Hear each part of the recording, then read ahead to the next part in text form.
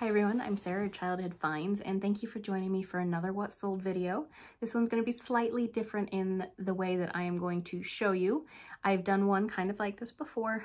Um, actually, I've done a couple, but this one is going to be showing you exactly how much my paycheck is from eBay for the week. And how I'm going to do that is I'm going to show you all the items I sold this week, every single one of them, tell you how much I made, uh, at the in the second, I'm going to do two parts to this video because I didn't want to do a ton ton of stuff in just one and make it super long.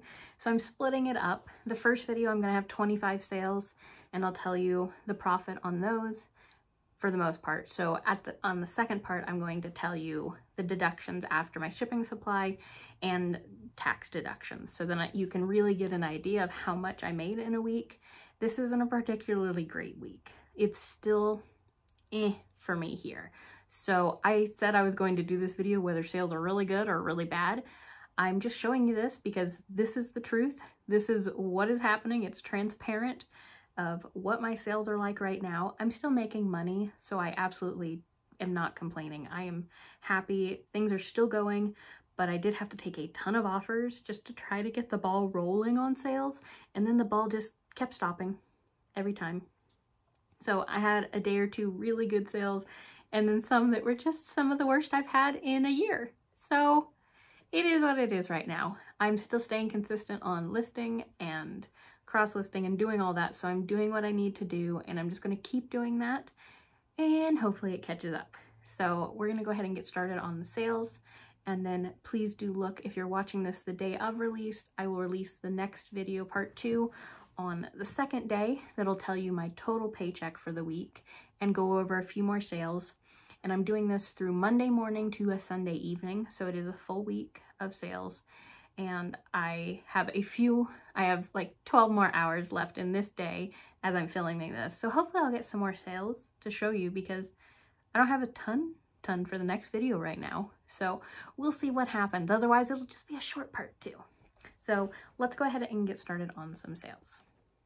All right, so just to go over, so what I'm going to be telling you is I I had I'm like 95% sure on most of these what best offer I took, but if I'm not completely right, the order earnings is correct. So I'm telling you, so when I say order earnings, that is going to be how much I'm getting paid by eBay after the shipping fee has been taken out, after promoted listings, after everything. So it's after all of that. And then I'll tell you the cost of goods and how much total profit on that item I have.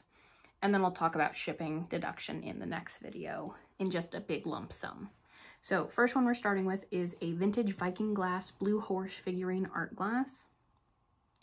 My mother-in-law picked this up at a yard sale over the summer. So, and it's been listed probably six months. It actually took longer to sell than I thought it would, but it sold for full asking of $32.95 and the order earnings for this was $29.91. Cost was a dollar. Profit was $28.91. Then we have a brass Ameritac & Co. towel ring and Contessa. It, I think that's the pattern that it is. 1968 bathroom vintage. I took a best offer of 15 for this and it's been listed probably less than a month and my order earnings are $11.86 and it cost me a dollar at an estate sale and my profit was $10.86 total.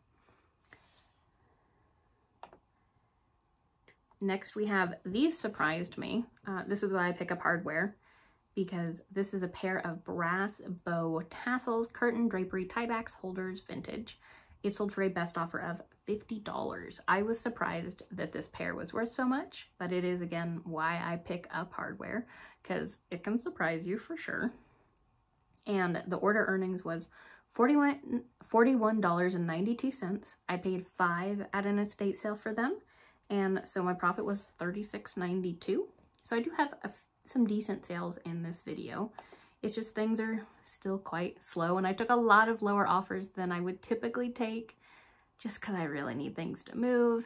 And, you know, we'll just, you just keep pushing it and then hopefully it'll pick up here in a month or two or, you know, sooner. Next, we have this pair of antique travel portrait photo frames, lot of tool lot of two in tooled leather cases. And these were very cool, but they did have pictures that I didn't want to try to remove. The leather on the casing wasn't in great condition. So these weren't in great condition, but they are antique and they are highly desirable.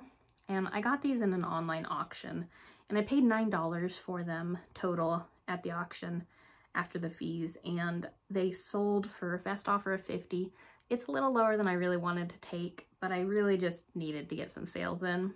And so it sold for $40.90, or order earnings is $40.90. The cost was 9 so my profit on this was $31.90, so still a very good profit.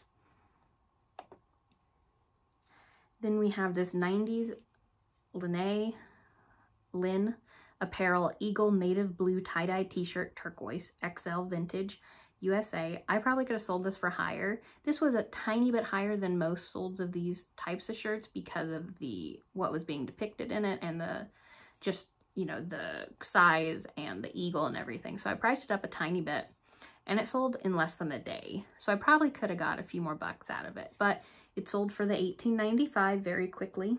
Um, the profit what or the earnings was $16.21 and I paid $2 for this at a thrift store. So profit was $14.21. Next I have, excuse me, this little golf club head cover and it's a Daphne's Leopard Wildcat Animal full-size plush golf club head cover. This has actually been listed for probably a year and I was really surprised it took this long to sell. I took a best offer of 10 just to get it going because it's been a year and yes, I probably could have got another dollar or two, but I've already, it's already been a year, guys. So I took it, sold for 10. My order earnings was $7.62. I paid a dollar for it, so my total profit was $6.62. But I, I don't mind that profit on this because it's really not that big. It doesn't break. It's easy to ship and pack. So that really isn't a bad profit for me. As long as it's completely easy. If this was a giant breakable, I'd be changing my tune on that. Then we have another plush, and this is a Gund Chubbs Penguin, I think that's his name, uh, Penguin plush, red hat, scarf, black, white, 8 inch. This has been listed for, I think, just a month or two. I think I listed it after the holiday season, and I got it for a dollar, but it sold for full asking of $11.95. My order earnings was $9.41 and paid a dollar, so $8.41. So some of these aren't huge profits, but they all add up. I really don't mind selling things for that price and that kind of profit as long as it's easy. It's relatively simple because you can do a bunch of these in an hour.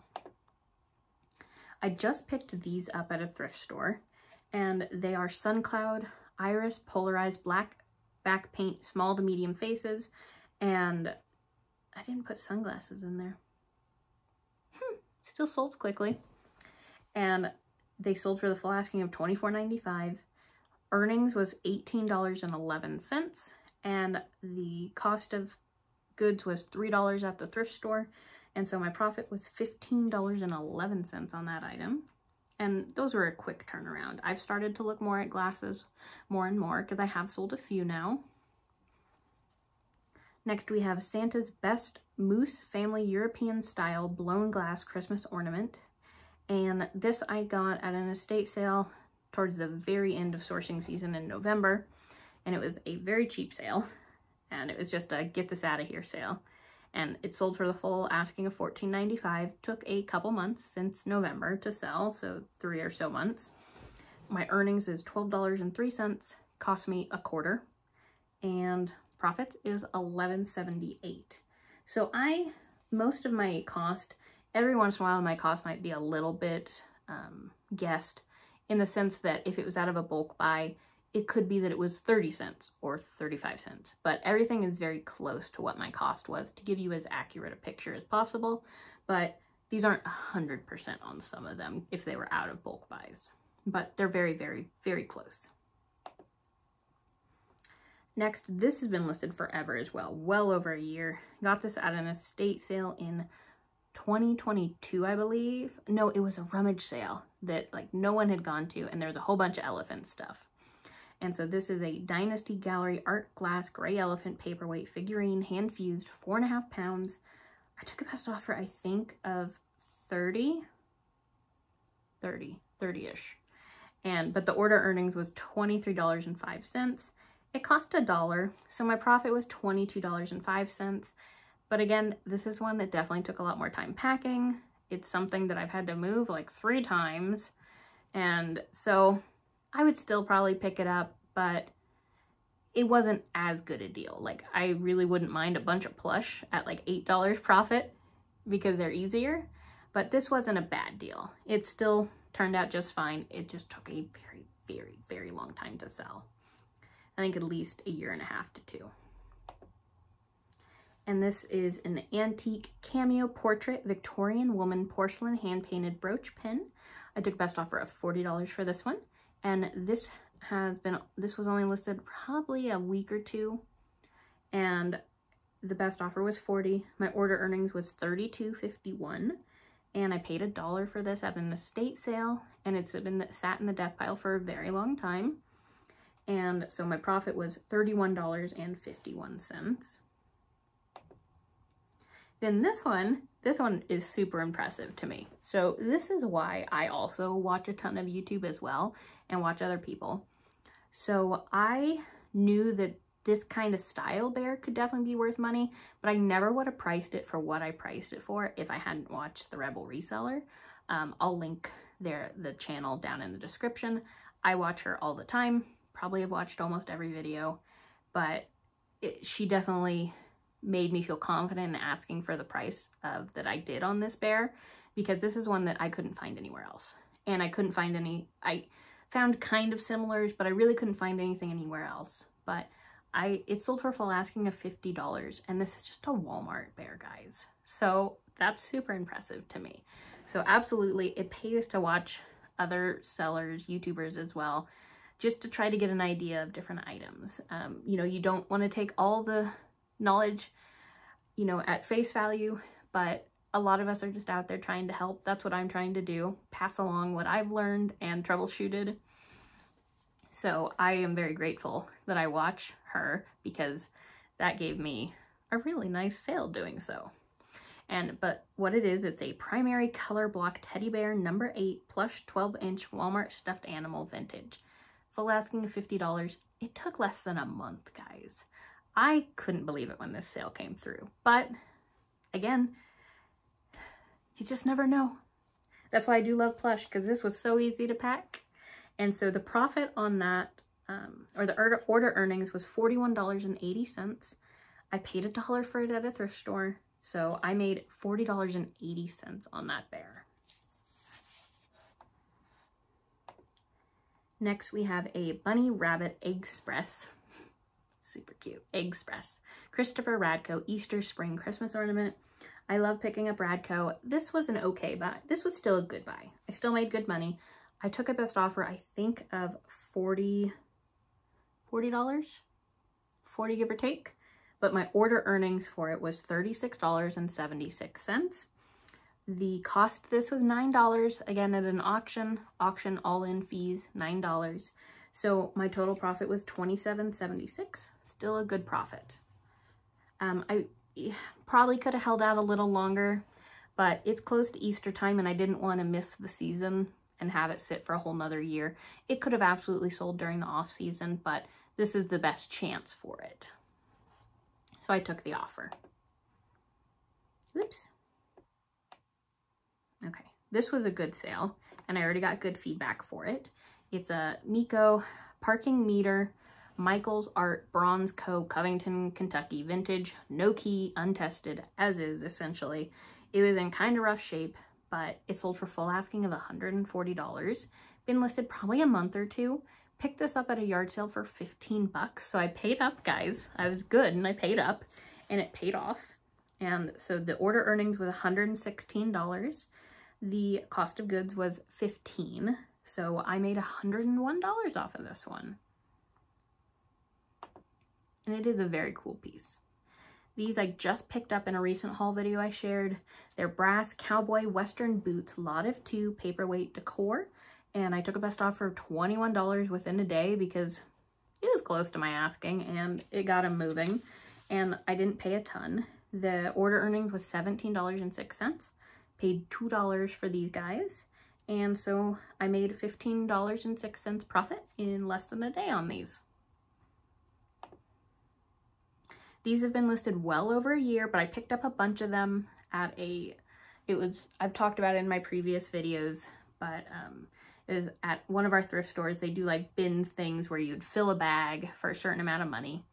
And that came out of the that sale. And these are weatherproof brown leather RFID block secure identity protection wallets.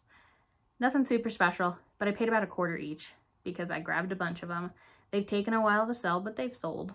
Uh, I sold two of, I took a best offer for two of them at $20 and so that was free shipping. This was when I was testing out free shipping, guys, so it's been a while. And so my order earnings was $10.69 and I have 50 cents into them.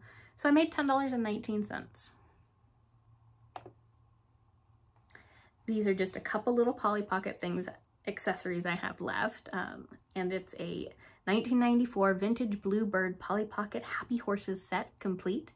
I took a best offer of $25 for these little guys and uh, order earnings was $20.50. The cost, this is to sound like I paid a whole bunch for this, guys, but it was in a bulk lot. And after I did all the listings, I had some that were really valuable and some not as valuable like this one. But the average was $7.50 when I averaged it out between how many listings and how much I paid. But so I still made a profit, but I definitely made more on other lots. So profit was $13. Then we have some Torrid Bombshell Skinny Blue Jeans Premium Stretch 16XT Extra Tall Women's. And I took a best offer of $18. Sorry guys, I'm a little off today. Um, but $18, but the order earnings, again, the order earnings are all correct. So those are all 100%, but sometimes they offer, I don't remember and that was $15.29 I made on, on order earnings. They cost me $2.50 at a thrift store, so I made $12.79. Nothing super special, but I would happily do that all day. I'd happily flip those for that kind of price. Oh, let's see if I can read my handwriting. That's nice. This is Clockwork Planet, volume 1 through 5 and 8 by Yu Kamiya Mm. Okay, it's manga, English. And I took a best offer of $35, I believe. And these took over a year to sell. These I was surprised took so long, but they took a while. Um, and the order earnings was $29.18. Uh, cost of goods was 250 or no, yeah, I think it was 250 for all six of them. And then the profit was $26.68.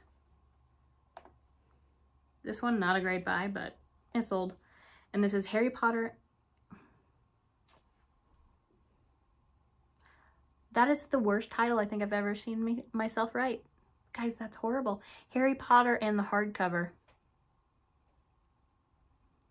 Welcome to transparency, guys. You get to see all my little mess ups, too. So that should say Harry Potter and the Goblet of Fire, hardcover, 2000, first edition, first printing. So moving forward, I took a best offer of $10.50. It's so bad. $10.50 on. So my order earnings was 732 on this. I paid a dollar for this at a yard sale. Profit 632. Eh. I also don't mind that profit too much on books as well because they're all so easy. This is Get Smart Vintage 1965 Don Adams TV show, The Exploding Bomb board game, read as is. This game, you know, it is a desirable one. The bomb, the main part of the game was broken. Like, it didn't have the cutouts for the game in here. It was complete, technically, but it wasn't usable. Um, but it was in okay condition for what it was and what was available. There really wasn't any others available. I ended up taking a best offer of $50 for this one. And uh, so the order earnings was $35.80. I paid five at a yard sale. So it Uh, profit was $30.80. So not super, super amazing, but still pretty good for a board game. This is a Style Built Accessories New York Gold Tone Candlestick Holder Cupid Cherub Flower Reed. In the reed, there's a whole bunch of wax, and I, I got to a point where I'm like, I don't want to pick this wax off anymore. I'm done. So I just put that in the description. There's still going to need to be some cleaning. And it sold for best offer 25 so a little bit less than I was hoping for, but not bad. Order earnings was $20.39, and I paid a dollar at a yard sale, and so profit is $19.39. Just a couple more left on this one. These are Made in USA 4230 Brown Wrangler Rancher 82BN dress jeans cowboy pants vintage. I took a best offer of $16 for these and the order earnings was $12.76. I paid a dollar for these at a rummage sale. They've been listed for quite a few months, um, but they sold, and so profit is $11.76. This has been listed forever. I thought it would sell for more. And it's a Mega Flyers Giant Flying Inflatable Big Mouth Bass Unused Item Open Box Remote.